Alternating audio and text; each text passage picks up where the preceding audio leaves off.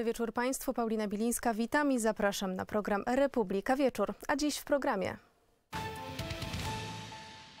Zmasowany atak Iranu na Izrael i groźba wybuchu pełnoskalowej wojny na Bliskim Wschodzie. Tego obawia się cały świat, który z napięciem patrzy na dalszy rozwój wydarzeń. Jedno jest pewne: Iran czuje się w obowiązku odpowiedzieć Izraelowi na zlikwidowanie przywódców Hamasu i Hezbollahu. Jeśli tak się stanie, od razu Państwa o tym poinformujemy.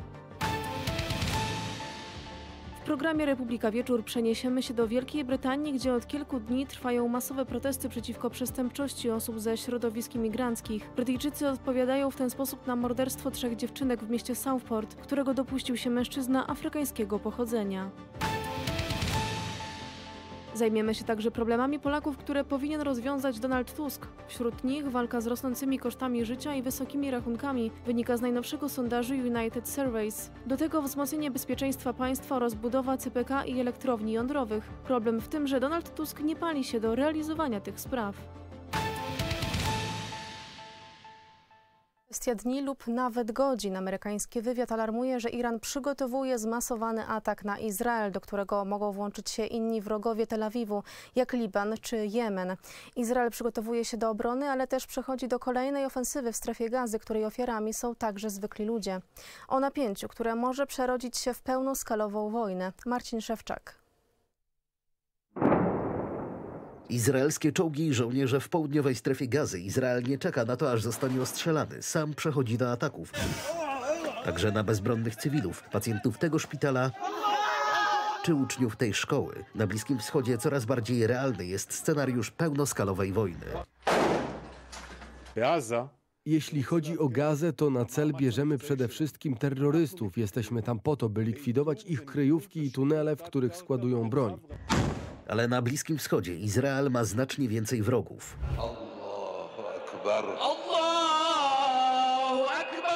To przede wszystkim Iran, który zapowiada krwawy odwet za izraelski atak rakietowy na terenie Teheranu, w którym zginął przywódca Hamasu, symbol antyizraelskiego oporu. Wymierzymy Izraelowi karę, grożą irańskie władze. Iran swój plan ataku na Izrael przeprowadzi etapami. Ostatnim z nich będzie operacja wojskowa w porozumieniu z innymi krajami antyizraelskiego oporu. Razem zniszczymy wroga. Wspólny wróg sprawia, że Iran i radykołowie z krajów islamskich, takich jak Liban, Jemen, Katar czy Syria, domagają się izraelskiej krwi. Mam wiadomość dla naszych wrogów. Nie możecie już spać spokojnie. Przyjdziemy do was i odbierzemy wam naszą ziemię. Amerykański wywiad alarmuje, że groźby Teheranu nie skończą się tylko na słowach. Liban wystrzelił w stronę Izraela 30 rakiet. Iran szykuje coś znacznie poważniejszego i to już w najbliższych dniach, a nawet godzinach. Musimy traktować zagrożenie bardzo poważnie i być gotowym, gdy ono nadejdzie. Pomożemy Izraelowi obronić się, ale też chcemy chronić nasze strategiczne cele na Bliskim Wschodzie i naszych obywateli, którzy tam przebywają. Stąd amerykańskie niszczyciele i krążowniki zdolne przechwytywać rakiety wroga i eskadra myśliwców wysłana w rejon konfliktu. To ostatnia szansa, by bezpiecznie opuścić m.in. Liban. Na lotniskach tłumy. Przyjechałam tu odwiedzić rodzinę, ale musimy się ewakuować. Jestem przerażona, bo jeden lot już nam odwołali. Słyszałam, że można się stąd wydostać przez Paryż, ale jest tu bardzo dużo ludzi. Francuskie, amerykańskie, brytyjskie, a nawet tureckie władze zalecają swoim obywatelom jak najszybsze opuszczenie zagrożonych wojną terenów. Marcin Szewczak, Telewizja Republika. Co powinno być głównym zadaniem rządu zdaniem Polaków? Walka z rosnącymi kosztami życia i wysokimi rachunkami. Taką odpowiedź wskazało ponad 50% badanych w sondażu United Surveys. Kolejne priorytety to wzmocnienie bezpieczeństwa państwa, poprawa ochrony zdrowia, budowa CPK czy elektrowni jądrowej co może zaskakiwać. Polakom nie zależy tak bardzo jak rządzącym na rozliczaniu poprzedników czy wprowadzaniu związków partnerskich. Wygląda więc na to, że Polacy myślą o Polsce i swoim życiu w kraju o wiele bardziej rozsądnie i pragmatycznie niż rząd. Adrian Borecki. Drożyznę Polacy najbardziej odczują jesienią i zimą, ale już nie jest kolorowo. A starczy do pierwszego tego przysłowiowego? ledwo, ledwo. Teraz już Trze- jeszcze... Trzeba sobie odmawiać wielu rzeczy. I nie mówię tu tylko o przyjemnościach, ale czasami i o podstawowych sprawach. Dzisiaj płaciłem e, rachunek za e, prąd, znaczy za energię.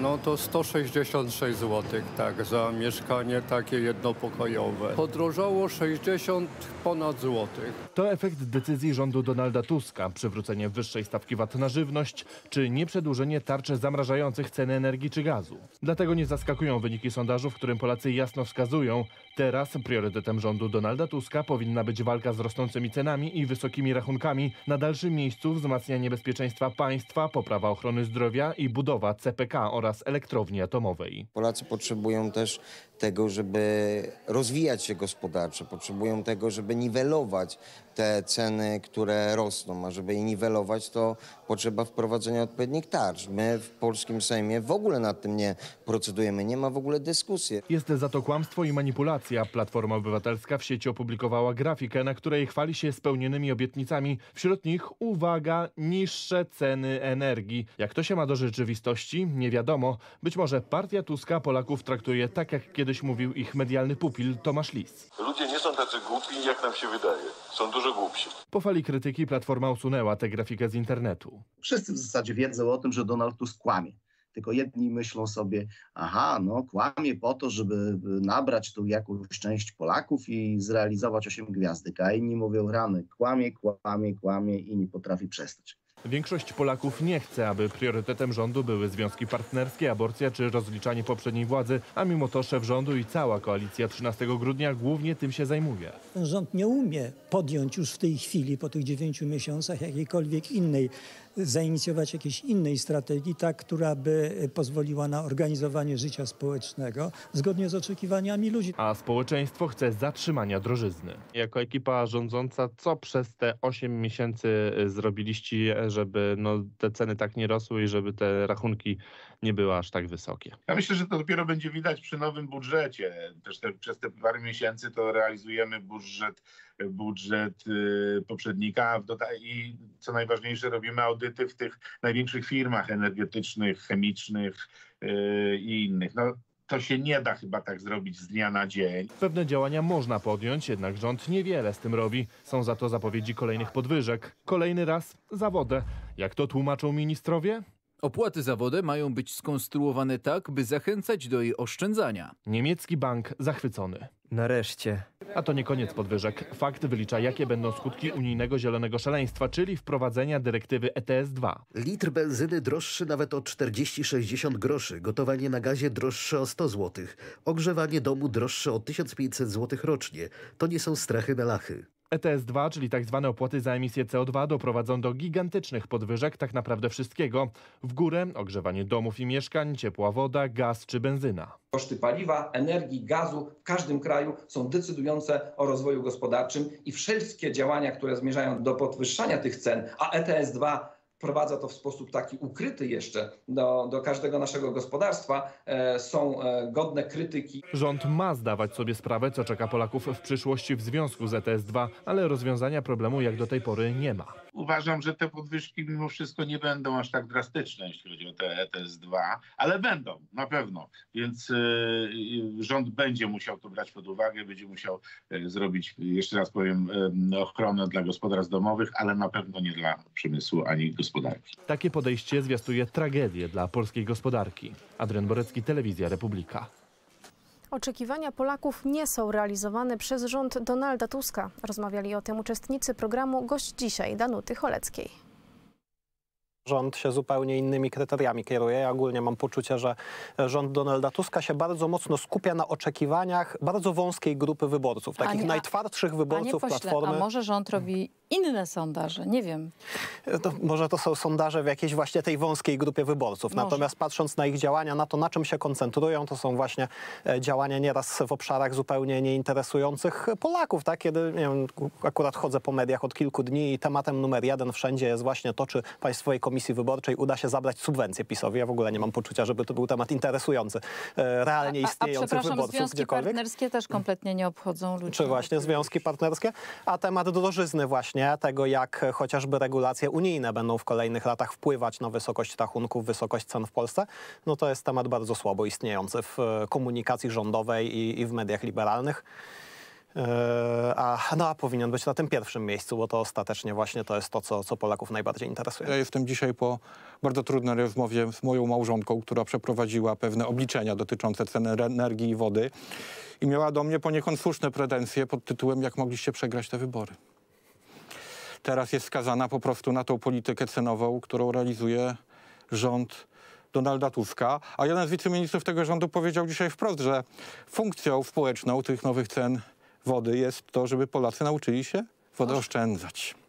Ja bym nie zapominał jednak o tym, że to zarządów PiSu była e, rekordowo wysoka inflacja. Zarządów PiSu była tarcza antyinflacyjna również i tarcza osłonowa, jeśli chodzi o ceny energii. Takie są które fakty. nakręcały jeszcze dodatkowo inflację. Natomiast ważnym też elementem, i to jest bardzo dobry sygnał, że Polacy oczekują od e, rządu e, inwestycji infrastrukturalnych. E, No i to niestety bardzo kiepsko wygląda w ostatnich miesiącach. Ze wszystkim są problemy, a też to jest chyba informacja z dzisiaj, że jest, został zarzucony czy zawieszony projekt budowy rurociągu pomorskiego i to jest kolejna już z serii inwestycji infrastrukturalnych, z którymi jakoś zdziwiony pan rząd jakoś Donalda jest, Tuska. tak? No niestety nie, tak? Widzimy, że, że pieniądze są na, na nowe świadczenia socjalne albo na zatrudnienie ludzi Platformy w rządzie, a kiedy chodzi o inwestycje infrastrukturalne to nie ma, kiedy chodzi o spełnienie obietnic dawanych rolnikom też nie ma. Dzisiaj mieliśmy jako Konfederacja rolnikach to już konferencję chyba, prasową. rząd zapomniał kompletnie. Tak, że właśnie się minister Siekierski swoją obietnicę dawaną kilka miesięcy temu rolnikom, że zostanie zamrożony podatek rolny, właśnie się z niej wycofał i cofnął już istniejący projekt ustawy. Ja bym, po, ja bym powiedział, panie redaktor, ja bym powiedział nawet inaczej. Polscy rolnicy są pionkiem w grze Donalda Tuska przeciwko PSL-owi.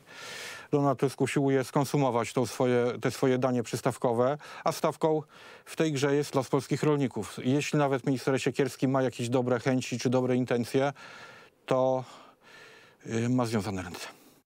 A skoro jesteśmy przy rolnikach, to właśnie ich dotyczy kolejna rządowa obietnica, która nie będzie zrealizowana. Tym razem chodzi o podatek rolny. Zgodnie z zapowiedzią miał być on utrzymany na poziomie z ubiegłego roku. Tak się jednak nie stanie. O szczegółach Kamil Nieradka. Podczas rolniczych protestów na początku tego roku Ministerstwo Rolnictwa poinformowało, że podatek rolny nie wzrośnie. To miała być odpowiedź na stale rosnące koszty produkcji. Teraz jednak Ministerstwo Rolnictwa poinformowało, że nie ma możliwości wypełnienia deklaracji. A zatem gospodarze będą musieli zapłacić więcej. Dla Pawła Janocha to 8 tysięcy złotych. Problem w tym, że to już kolejny wzrost kosztów produkcji. Z racji tego, że jestem obciążony spłatą y, kredytu hipotecznego za ziemię, y, przy obecnych stopach procentowych tą ratę mam dosyć dużą, y, miesięczną, odsetkową, no i to, to po prostu by z nawiązką pokryło chociażby ten koszt miesięczny. A tak po prostu będziemy musieli wyjąć te pieniądze z budżetu gospodarstwa. Obecnie u gospodarzy kończą się żniwa. Tegoroczne plony oceniają oni jako średnie. W połączeniu z brakiem zrealizowanych obietnic przez rząd, jesienią tego roku znów można spodziewać się protestów. Jeżeli nie będą domykać się budżety gospodar gospodarstw, y, wszystkie te tematy powrócą. Niestety, bo jak mówią eksperci, wysokie koszty produkcji w rolnictwie na końcu będą musieli pokryć konsumenci. Kamil Nieradka, Telewizja Republika. Spełnione obietnice to jest to, co tygrysy lubią najbardziej, a co lubią najmniej niespełnione obietnice. A premier Donald Tusk i Platforma Obywatelska obiecali m.in. to. Przypatrzcie się Państwo jeszcze raz grafice, którą widzieliście kilka minut temu. Spełniamy obietnice. Niższe ceny energii.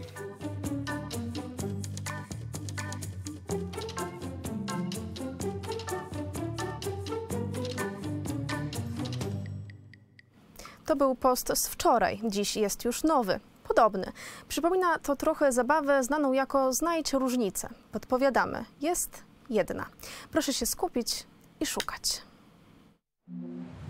Babciowe, podwyżki dla nauczycieli, bon energetyczny, bezpłatne in vitro. Tydzień po brutalnym morderstwie trzech dziewczynek przez syna afrykańskich imigrantów w Wielkiej Brytanii nadal niespokojnie. W nocy protestujący przeciw błędnej polityce migracyjnej Brytyjczycy wdarli się do hotelu w Rotterhamie, w którym przybywali umieszczeni tam przez władze obcokrajowcy. Media, które do tej pory oszczędnie informowały o zamieszkach, winą za tę sytuację coraz głośniej oskarżają Brytyjczyków. Premier Keir Starmer nazywa swoich rodaków prawicowymi ekstremistami. W Southport, gdzie tydzień temu doszło do tragedii, jest Michał Gwardyński. Polski. Michale, powiedz, w jakiej tej, jak w tej chwili wygląda sytuacja? Dobry wieczór Państwu. Southport w tym momencie spokojniej. Miasto mm, powoli budzi się do życia po tych dramatycznych wydarzeniach, do jakich e, doszło w zeszłym tygodniu. Mieszkańcy miasta cały czas są pogrążeni e, w żałobie. Warto podkreślić, że na miejscu tej okropnej zbrodni cały czas pracują politycy, policjanci, którzy to e, otoczyli dom na odległość około 100 metrów taśmami policyjnymi. Ta możliwość podejścia pod to miejsce, w którym doszło do tej okropnej zbrodni, ono jest, y, ona jest ograniczona. Natomiast to, co warto podkreślić przez Wielką Brytanię, w ostatnim czasie przetacza się fala protestów, która jest związana bezpośrednio z tą okropną zbrodnią i co istotne, te protesty y, niekiedy przeradzają się w zamieszki, a jest to spowodowane faktem, że na ulicach brytyjskich miast grasują zorganizowane grupy przestępcze, w skład w których wchodzi społeczność muzułmańska bardzo, bardzo często również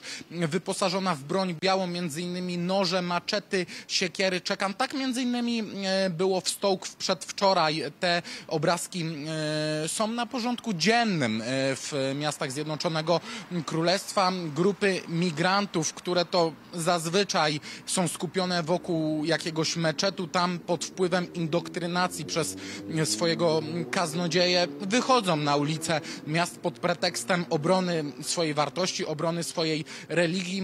W środowisku społeczności muzułmańskiej pojawiają się również fake newsy, jakoby to Brytyjczycy mieli próbować urządzić e, polowania nad nich. Tu jest cytat dosłowny z tego, co e, właśnie rozpowszechnia ta muzułmańska propaganda i w obliczu tego, w następstwie tego wychodzą na ulicę zorganizowane mm, grupy tejże społeczności arabskiej, bardzo często uzbrojone w broń białą, stanowiąc tym samym zagrożenie nie tylko dla mm, siebie, nie tylko dla osób, które protestują po drugiej stronie, ale dla cywilnych, bezbronnych e, mieszkańców wielu e, miast Zjednoczonego Królestwa. I co istotne, dzisiaj premier Wielkiej Brytanii mm, zarządził nadzwyczajne posiedzenie rządu o kryptonimie Cobra. Ono miało dotyczyć właśnie tej e, sytuacji, która ma miejsce na Wyspach Brytyjskich, e, jak również tych zamieszek i Premier Wielkiej Brytanii, który wyszedł na konferencję prasową po e, zakończeniu konsultacji wraz ze swoim gabinetem, ogłosił, że powstanie specjalna nowa jednostka policji, której to zadaniem będzie, proszę Państwa, no, chciałoby się e, tutaj w tej sytuacji śmiać, ale niestety takie są e, prawdziwe fakty, które mają mieć miejsce. Nie walka z tą zorganizowaną przestępczością w środowiskach muzułmańskich, a zwalczanie osób, które protestują i e, ci oficerowie policji bardzo doświadczeni, którzy mają staż w policji, którzy wiedzą w jaki sposób działać w szykach zwartych, mają mieć za zadanie stłumienie protestów, które mają charakter antyimigrancki Dzisiaj spokojniej, e, między innymi w Southport, e, również w innych miastach, między innymi w Middlesbrough, gdzie wczoraj również doszło do e, zamieszek. Natomiast kilka godzin temu z informacji, które udało nam się uzyskać, grupy nielegalnych migrantów z państw arabskich grasują na ulicach Birmingham i tam sieją strach, sieją tak naprawdę nienawiść. Osoby, które na co dzień mieszkają w mieście, boją się wyjść, ponieważ pojawiają się kilkudziesięcio, czasami kilkuset osobo, osobowe grupy z tej społeczności muzułmańskiej, więc ta sytuacja na Wyspach Brytyjskich jest dynamiczna, jest rozwojowa i warto podkreślić, że ona równolegle dzieje się w wielu miastach, które są odległe od siebie czasami o kilkaset kilometrów. Przedwczoraj bardzo niebezpieczne e, sceny, które miały miejsce w Stoke. E, dzisiaj jesteśmy między innymi w Southport, to jest e, no, przeszło 200 kilometrów na północ. Równolegle sytuacja również e, rozwojowa miała miejsce w okolicach Sheffield, dzisiaj w Birmingham, także mm, Wielka Brytania stała się tym miejscem, e, w którym ten konflikt rzeczywiście eskalował w, w ostatnim czasie. Telewizja Republika jest na miejscu, na bieżąco dla Państwa relacjonuje to, co się dzieje, a więcej na ten temat w materiale Konrada Węża. To nie Pakistan.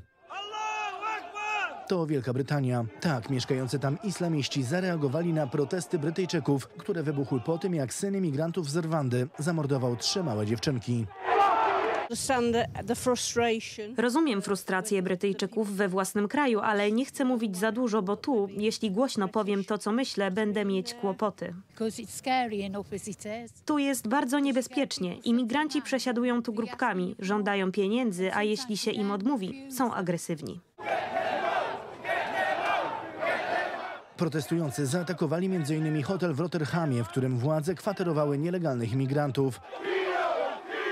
W ciągu ostatnich lat dochodziło tu do masowych gwałtów, także na dzieciach. Miało tu dojść do nawet półtora tysiąca pedofilskich ataków.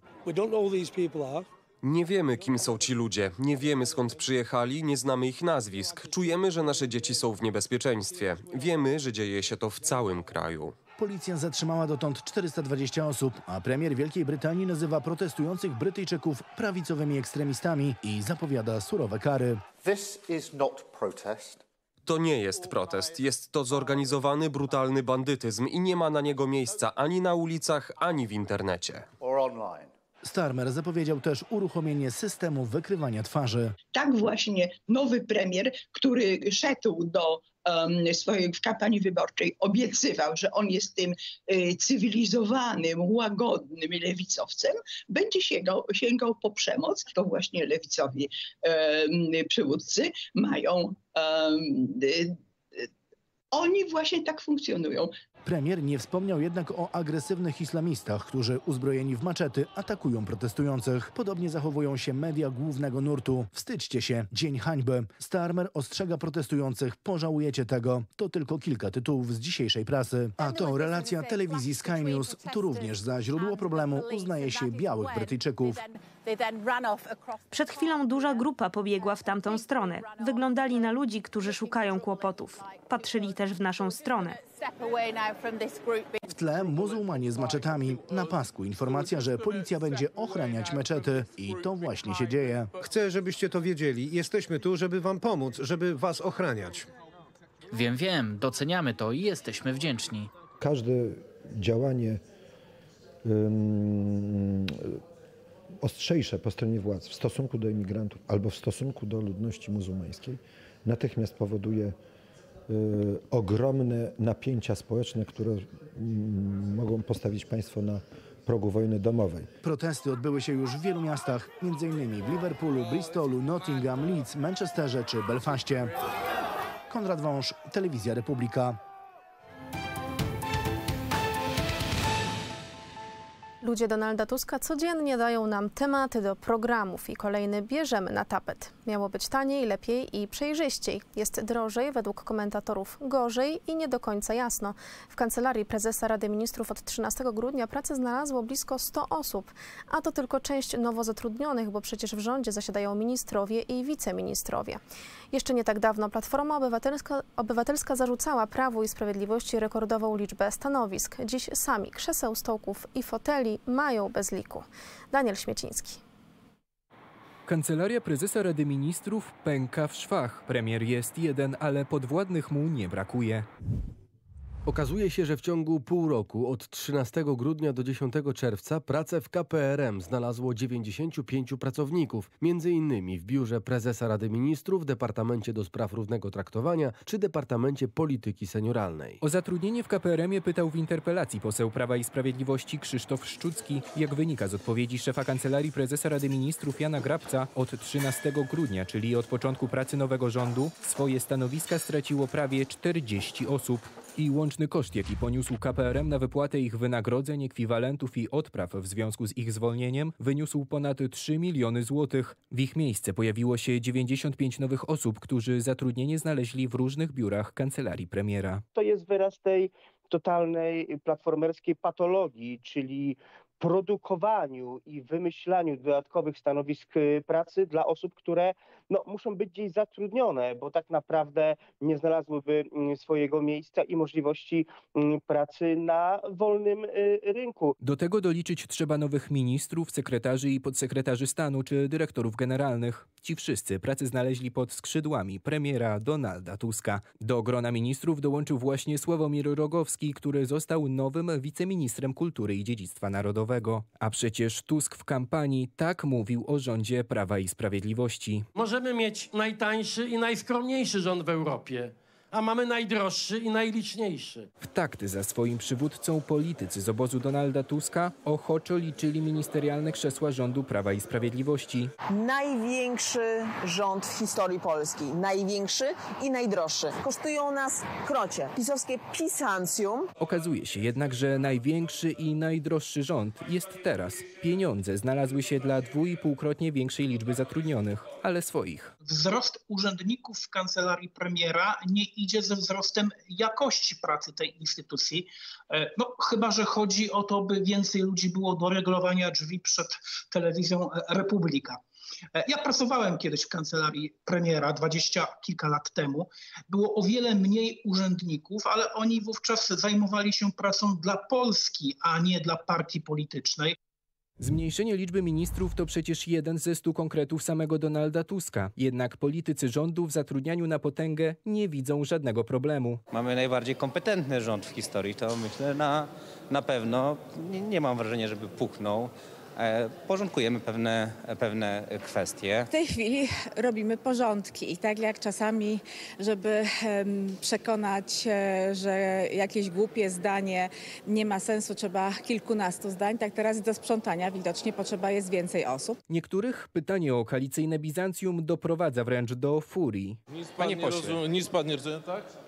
Panie pośle, no ale rząd puchnie, to dl- dlaczego znalazły się nagle pieniądze dla pracowników? Nie będę rozmawiał. A dlaczego? Ale może pan nie przestać potrącać? Zadaję tylko pytanie. Skończyłem z panem rozmawiać. Z tego co kojarzę, to ten audyt był e, przeprowadzony i on stwierdził, że te zatrudnienie 100 dodatkowych osób miało miejsce pod koniec zeszłego roku, jeszcze wtedy, kiedy mm, premierem był e, pan premier Mateusz Morawiecki. To nieprawda. Zatrudniano już po 13 grudnia. Opozycja odpowiada i punktuje rząd Tuska. Zazwyczaj jest tak, że kiedy przedstawiciele rządzącej koalicji likwidatorów coś mówią, to trzeba to odczytywać dokładnie odwrotnie. Kiedy mówią, że my zatrudnialiśmy, to okazuje się, że jest zupełnie odwrotnie, że właśnie stan zatrudnienia w czasie rządu Prawa i Sprawiedliwości był dużo mniejszy. Widać po prostu wielką hipokryzję Donalda Tuska i jego ekipy. Rośnie Bizancjum, trzeba było opłacić nowych PR-owców, spin doktorów, e, trzeba było opłacić ludzi, którzy e, będą zajmować się rzeczami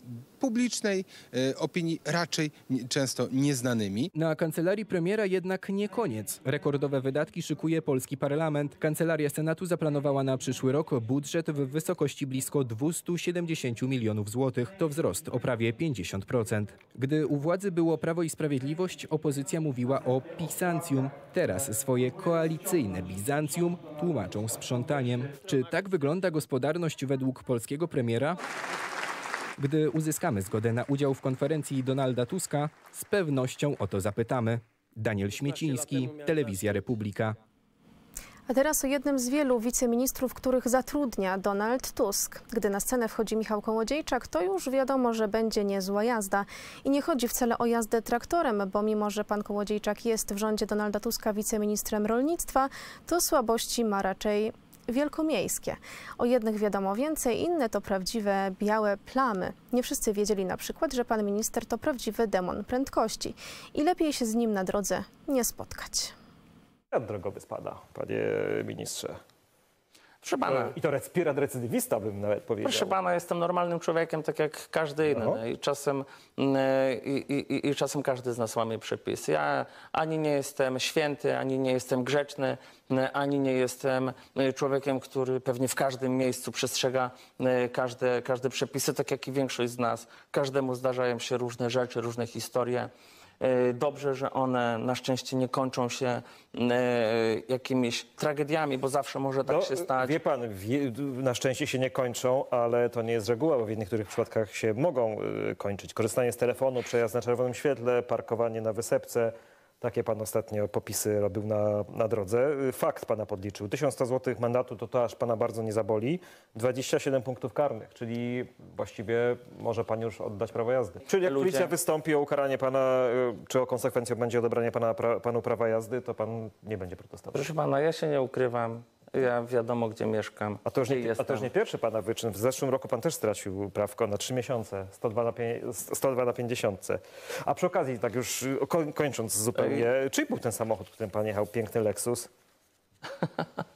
To jest samochód, którym na co dzień, e, na co, na, co dzień, na co dzień jeżdżę i się poruszam. Ale to jest pana samochód? Pan jest właścicielem tego samochodu? To jest samochód, y, którym, y, którym jeżdżę. To jest samochód, który należy fizycznie powiedzieć? do mojego ojca. A, do pana ojca, dlatego, bo chciałem zapytać, dlaczego nie ma go w oświadczeniu, ale to jest pańskiego ojca e, samochód. No dobra. Rząd 13 grudnia otrąbił kolejny sukces. W błysku fleszy podpisał umowę na offset dla śmigłowców Apache z amerykańskimi firmami. Na rządowej konferencji nie padło słowo o tym, że to poprzedni rząd Zjednoczonej Prawicy uzyskał zgodę amerykańskiego kongresu na ten zakup i rozpoczął negocjacje z Amerykanami. Problem w tym, że 8 miesięcy od przejęcia władzy przez koalicję Tuska wciąż nie ma właściwej umowy na amerykańskie śmigłowce, a w całej sprawie pojawia się więcej pytań niż odpowiedzi. Na przykład w sprawie liczby maszyn, które, które chce kupić obecny rząd. Za to w tle umowy na offset do śmigłowców w Wojsku Polskim dochodzi do czystki wśród generałów. Radosław Jankiewicz. Sekretarza stanu. Wiceminister obrony chciał pokazać, że w MON od 8 miesięcy władzy koalicji Tuska jednak coś się dzieje. Resort obrony podpisał właśnie dwie umowy na offset dla śmigłowców Apache z amerykańskimi firmami Boeing oraz General Electric. Armia polska jest przed pozyskaniem tych śmigłowców, które wzmocnią w sposób realny naszą gotowość, nasze bezpieczeństwo. Szkoda, że tak późno i tak wiele miesięcy obecnie rządzący zwlekali e, z podpisaniem umowy offsetowej, co otwiera e, możliwość e, dalszych negocjacji cenowych, jeżeli chodzi o zakup śmigłowców e, Apache. Podpisane umowy offsetowe dotyczą przeglądów, napraw i remontów amerykańskiego śmigłowca oraz obsługi napędzających go silników. Koszt obu umów to około 930 milionów złotych. Chcę podziękować rządowi Stanów Zjednoczonych, bo to kongres musiał wyrazić zgodę, abyśmy mogli rozpocząć jakiekolwiek negocjacje i działania w celu pozyskania tych e, śmigłowców. Wiceszef MON nie wspomniał nic o poprzednikach, którzy rozpoczęli starania o amerykańską broń dla Polski.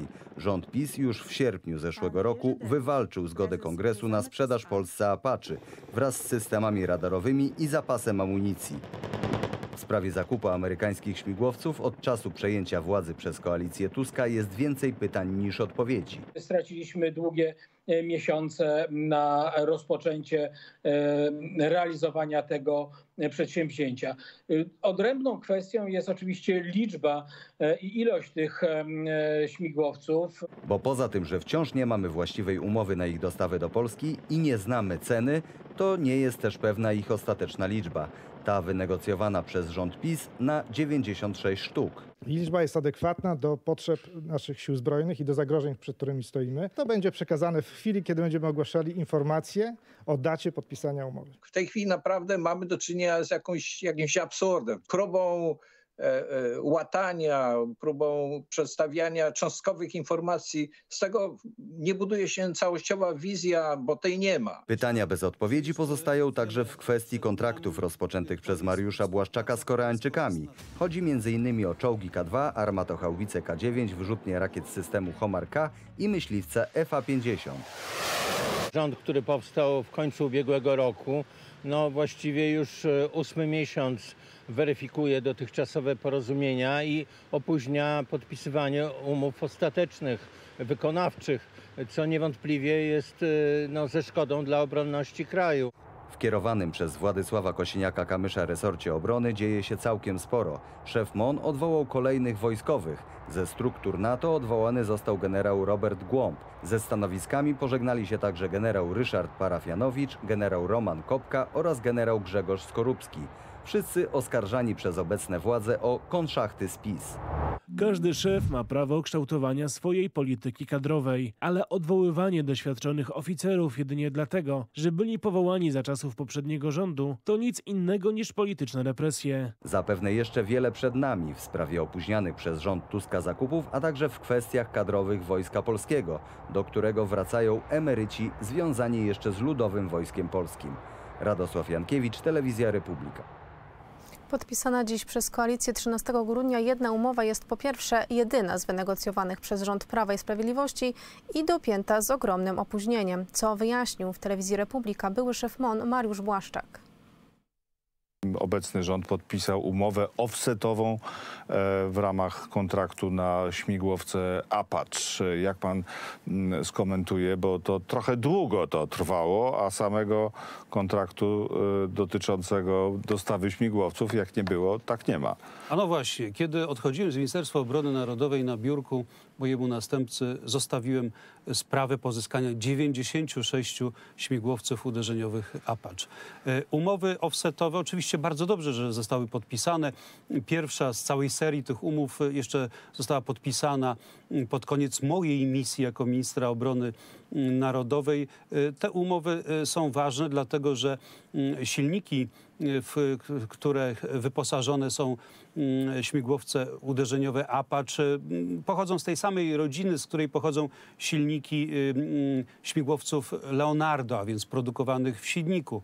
W PZL Świdnik mówię tu o AW-149, których pierwsze egzemplarze już są w Brygadzie Kawalerii Powietrznej w Tomaszowie Mazowieckim. Mówię o śmigłowcach AW-101.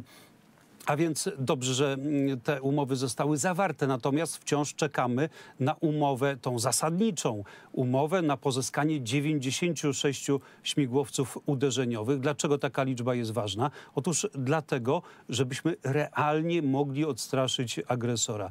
Tyle nam potrzeba mm, śmigłowców. Te śmigłowce należą rzeczywiście do najlepszych, najnowocześniejszych. To jest bardzo dobra broń. One mm, współdziałają w Stanach Zjednoczonych, w siłach lądowych z czołgami Abrams. W Polsce też tak powinno być.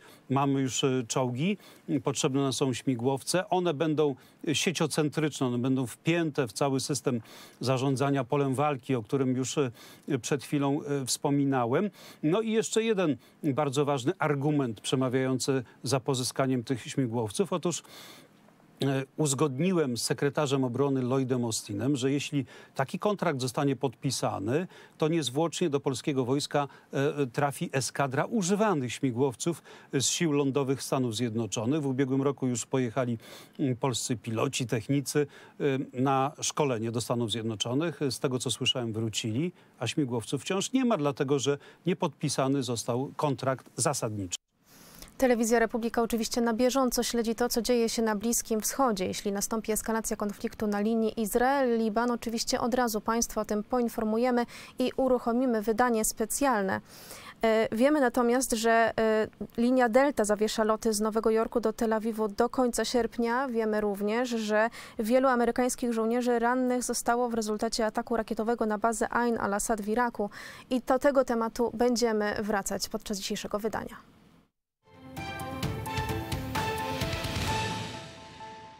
Sojusz niemiecko-rosyjski już niejednokrotnie był realnym zagrożeniem dla Polski. Wydawałoby się, że po wybuchu pełnoskalowej wojny na Ukrainie Berlin skoryguje swoją niebezpieczną politykę. Niestety tylko się wydawało. Nad Renem cały czas żyje silny rosyjski sentyment, który objawia się m.in. poprzez blokowanie kolejnych sankcji na Moskwę. Paweł Błoch. 24 lutego 2022 roku. Dzień, kiedy Rosja po raz kolejny pokazała swoją prawdziwą zbrodniczą twarz.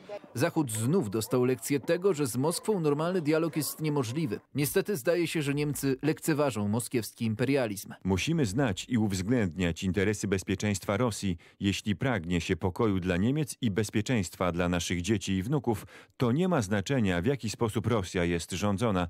Pokój jest ważniejszy niż Polska. Niemiecki polityk, członek partii kanclerza Scholza powtarza również putinowską propagandę, oskarżając Stany Zjednoczone o odpowiedzialność za wybuch wojny na Ukrainie. Jest to również stara niemiecka doktryna, która przewiduje wypchnięcie Stanów Zjednoczonych z Europy. Oni zawsze ubierają takie ładne słówka, pokój, yy, yy, ważniejszy jest nie. Tu chodzi rzeczywiście o bardzo konkretne interesy gospodarcze kosztem innych. Najgorsze jest to, że słowa niemieckich dygnitarzy znajdują swoje odzwierciedlenie w realnej polityce.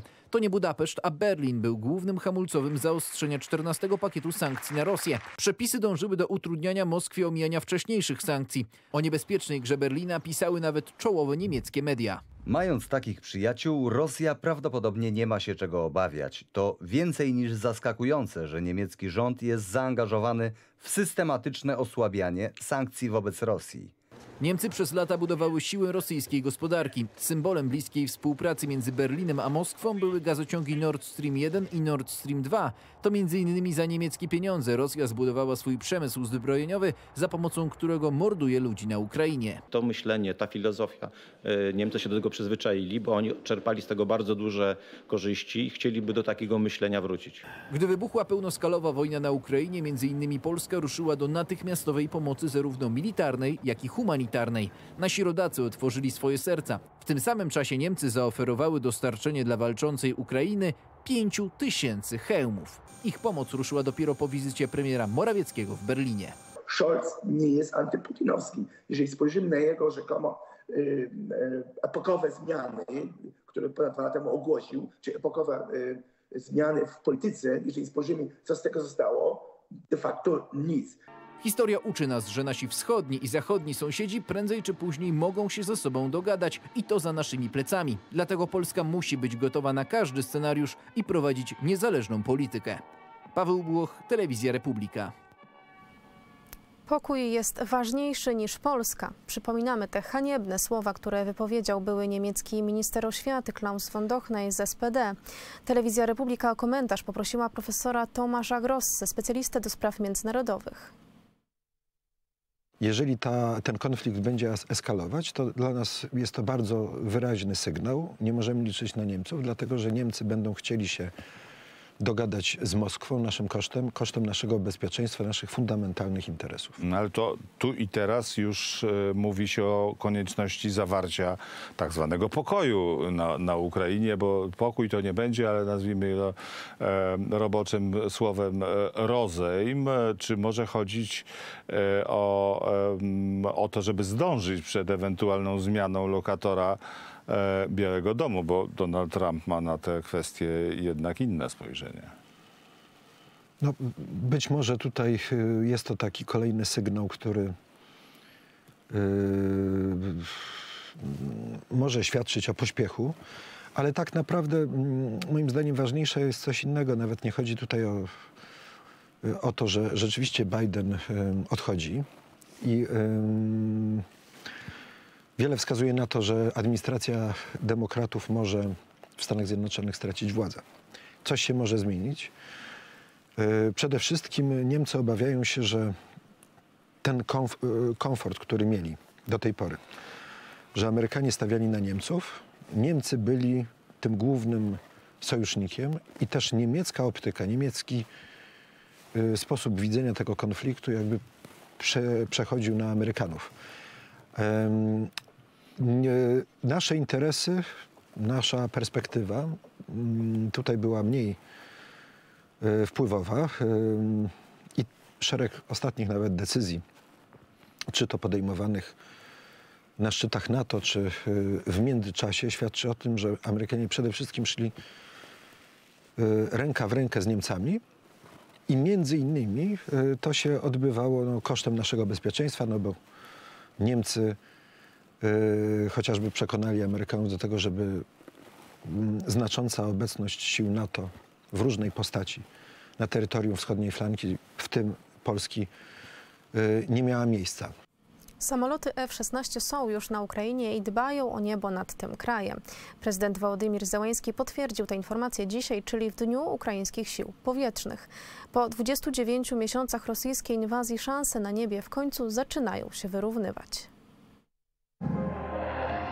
Ukraina zaprezentowała nowoczesne, w pełni uzbrojone samoloty F-16. Prezydent Wołodymir Zełenski ocenił, że ich obecność na Ukrainie oznacza przejście na nowy etap rozwoju ukraińskich wojsk powietrznych. My bardzo zrobili dla tego, żeby ukraiński Zrobiliśmy bardzo dużo, aby siły powietrzne Ukrainy przestawiły się na nowy standard lotnictwa, na zachodnie lotnictwo bojowe. Od początku tej wojny rozmawialiśmy z naszymi partnerami o konieczności zamknięcia naszego ukraińskiego nieba przed rosyjskimi rakietami i rosyjskimi samolotami. небо від російських ракет, від російських літаків.